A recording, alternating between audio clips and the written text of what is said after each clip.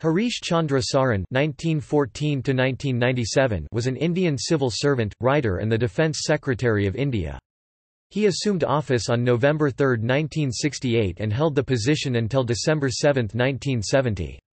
He was the author of the book, Defence and Development. Sarin was born on May 27, 1914 at Deoria in the Indian state of Uttar Pradesh and was an alumnus of Cambridge University. He held the position of the Defence Secretary past his retirement age. Sarin, who was married to Pushpa Rathore, died on January 27, 1997. The Government of India awarded him Padma Vibhushan, the second highest Indian civilian award, in 1967. He was also a recipient of the first special IMF award of the Indian Mountaineering Foundation in 1993. See also